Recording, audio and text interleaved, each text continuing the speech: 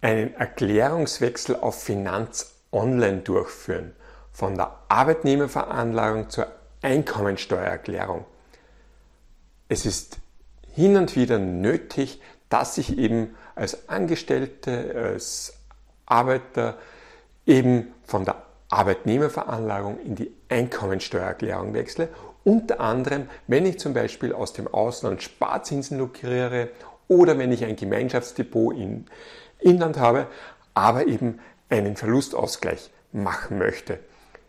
Wie dieser Erklärungswechsel geht und woher ich das weiß, das erzähle ich in diesem Video.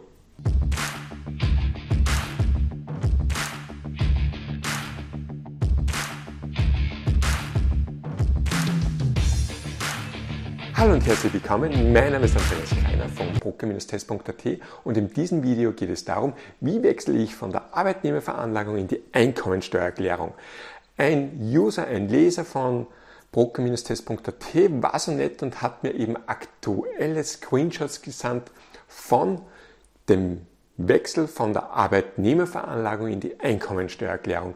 Wann wird denn das notwendig? Hier ein paar Beispiele. Zum Beispiel, ich habe äh, meine, ich habe ein Sparkonto im Ausland und muss eben die im Ausland erhaltenen Sparzinsen, die ich brutto für netto bekommen habe, im Inland versteuern. Ich habe ein Auslandsdepot wo ich eben Kursgewinne gehabt habe oder wo ich Dividendenerträge gehabt habe oder eben ausschüttungsgleiche Erträge und die möchte oder die muss ich versteuern, dann muss ich ebenfalls von der Arbeitnehmerveranlagung in die Einkommensteuererklärung hinüberwechseln oder eben ich habe im Inland ein Gemeinschaftsdepot oder mehrere Depots und möchte eben über diese mehreren Depots einen Verlustausgleich machen oder eben bei meinem Gemeinschaftsdepot mit der Frau ebenfalls einen Verlustausgleich machen.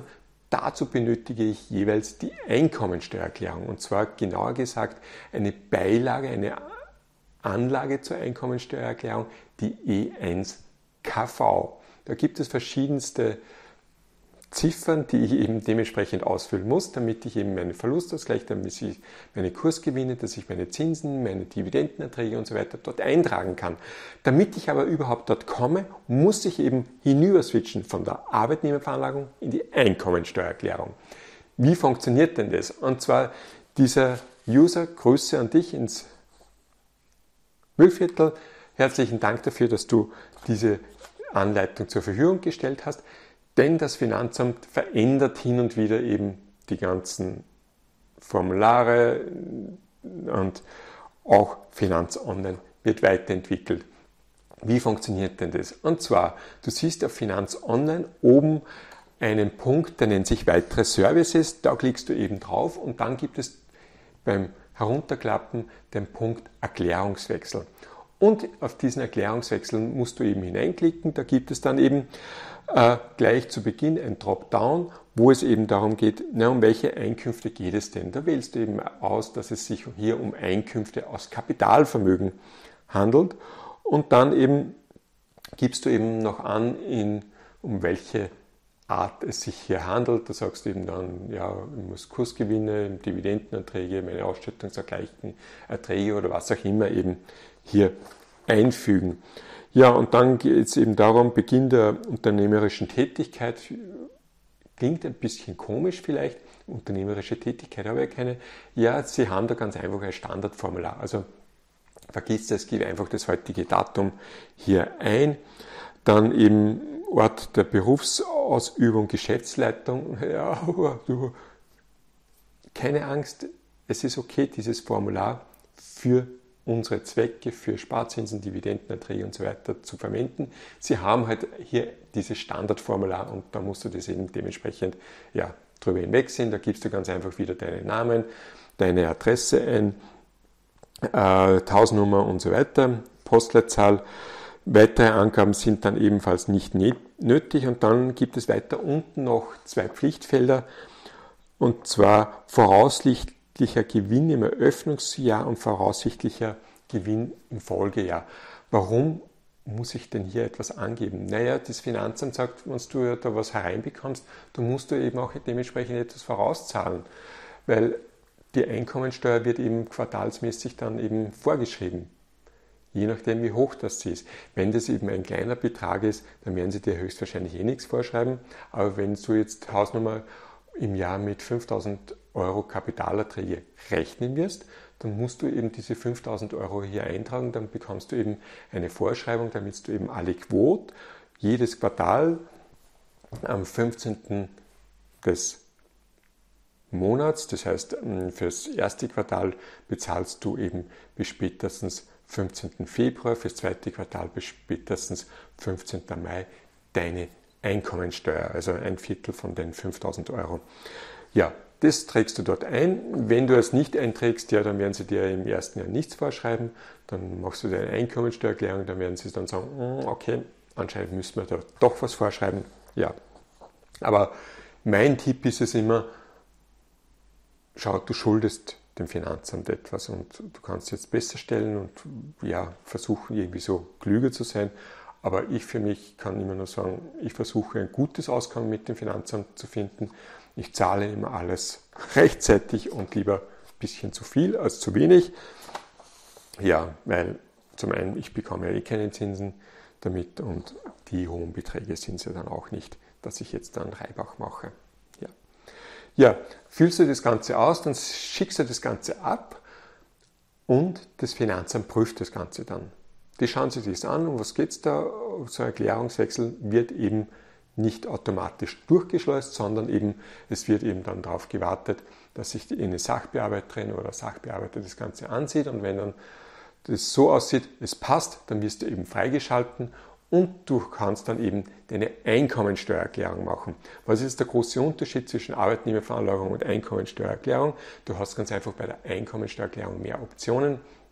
Du musst dann eben sagen, wie viel äh, von wie vielen Stellen hast du eben dein Gehalt bezogen, aber das musst du bei der Arbeitnehmerveranlagung, glaube ich, genauso.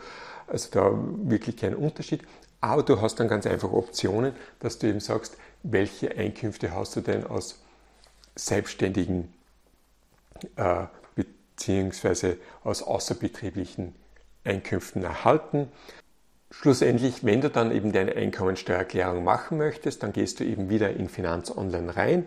Der zweite der, der, dritte Menüpunkt ist eben der Menüpunkt Eingaben. Da gehst du dann auf den ersten Menüpunkt Erklärungen. Dann wählst du eben aus, dass du eben hier die Einkommensteuererklärung machen möchtest. Gibst du eben ein, zum Beispiel für das Jahr 2019. Klickst dann auf Weiter, dass du eben dann dementsprechend in das nächste Feld reinkommst. Und dann hast du eben hier die Möglichkeiten, dass du eben deine Informationen einträgst. Ja, je nachdem die Unternehmensdaten, du wirst wahrscheinlich aus der Land- und Forstwirtschaft, dass die betriebliche Einkunftsarten klassischerweise hast du dann eher nicht. Aber bei den außerbetrieblichen Einkunftsarten hast du dann eben den Menüpunkt Einkünfte aus Kapitalvermögen, Beilage E1KV. Und das ist genau jener Menüpunkt, den du eben benötigst, damit du eben deine Steuererklärung machen kannst. Und da kommt dann eben das Ganze wieder zu tragen, Einkünfte aus Kapitalvermögen und so weiter und so weiter. Und da trägst du eben dann diese Punkte ein, wo du sagst, die treffen auf dich zu. Wenn du eben Sparzinsen im Ausland lukrierst, wenn du in Österreich mehrere Depots hast und du möchtest über alle Depots eben einen Verlustausgleich machen, wenn du ein Gemeinschaftsdepot im Inland hast, wo du eben sagst, du möchtest eben auch einen Verlustausgleich machen, weil bei Gemeinschaftsdepots macht es eben die Bank nicht automatisch, sondern das müssen die Depotinhaber selbst machen. Die müssen sich eben ausmachen, zu wie viel Prozent kann denn der Verlustausgleich bei dem einen oder bei der anderen eben geltend gemacht werden. Man kann es Regelungen geben, 70, 30, 50, 50, wie auch immer. Das ist eben dem, den beiden oder den mehreren Depotinhabern selbst überlassen. Daher kann das eben die Bank nicht selbst machen, sondern muss eben über die E1KV gemacht werden. Ein weiterer Grund, warum du die E1KV ausfüllen musst, ist natürlich auch, wenn du im Ausland ein Wertpapierdepot hast und du hast dort Kursgewinne, Dividendenerträge, du möchtest dort einen Verlustausgleich machen, du hast ausschüttungsgleiche Erträge oder sonstige Ausschüttungen von deinen Wertpapieren, dann musst du ebenfalls diese E1KV ausfüllen und im Hintergrund läuft dann eben die E1 ab, die Einkommensteuererklärung. Ja, so läuft das Ganze ab. Das heißt, Erklärungswechsel funktioniert über Finanz Online. Du füllst das Ganze aus, wer du bist. Es ist halt ein, schaut aus wie nur für Unternehmen, aber du kannst es genauso für deine Kapitalerträge machen, weil es eben ein Standardformular ist. Du kannst, äh, du kannst oder solltest eben angeben, mit welchen Kapitalerträgen rechnest du denn in diesem Jahr und im Folgejahr, damit das Finanzamt dir etwas vorschreiben kann, damit du eben in, zu jedem Quartal eben deine Vorauszahlung machen kannst und nach der Einkommensteuererklärung wird dann eben abgerechnet, was du jetzt da Guthaben oder einen oder musst du eben etwas nachzahlen und dann kommt eben die Vorschreibung mit einer Erhöhung. Wenn du mit dieser Erhöhung nicht einverstanden bist, dann kannst du eben wiederum dich ans Finanzamt melden und sagen, du, liebes Finanzamt, ich rechne mit in diesem Jahr mit einem niedrigeren Erlös, dann könnte es sein, dass eben das Finanzamt das dann eben dementsprechend anpasst. Also meine Erfahrungen sind die, einfach offen sein, ehrlich sein, mit dem Finanzamt kommunizieren die nötigen Unterlagen immer nachreichen, wenn eben irgendwas gefragt wird und dann ist das alles kein Problem. Eben steuerehrlich sein, denn du bescheißt nicht jemanden da irgendwie jemanden anonymen, sondern eben uns alle. Und es ist dann Steuerverkürzung, vielleicht auch Steuerhinterziehung. Für was? Willst wirklich ein Prüfungsabo haben oder andersrum möchtest du eben ja, zu einem Steuerberater laufen müssen, der dich dann eben da rausboxt. Also in diesem Sinne immer brav angeben, was du denn zu versteuern hast. Es zahlt sich schon aus, dass du da eben dementsprechend alles meldest. Ich bedanke mich bei dir fürs Zusehen. Danke nochmals an den freundlichen User, der mir eben gezeigt hat, was sich denn geändert hat bei diesem Steuerformular. Wenn du irgendwelche Fragen hast, schau dir das Ganze an. Auf broker-test.at gibt es natürlich noch weitere Informationen, was denn das heißt, ein Depot im Ausland zu haben, was denn das heißt, ausschüttungsgleiche Erträge bei einem Auslandsbroker zu haben und so weiter und so weiter. Das kannst du dir auf broker-test.at ansehen. Ansonsten freue ich mich über einen Kommentar, über ein Like, über Subscription. Wie immer, bis bald und auf Wiedersehen auf broker-test.at bzw. auf diesem YouTube-Kanal. Danke sehr fürs Zusehen. Euer Andreas.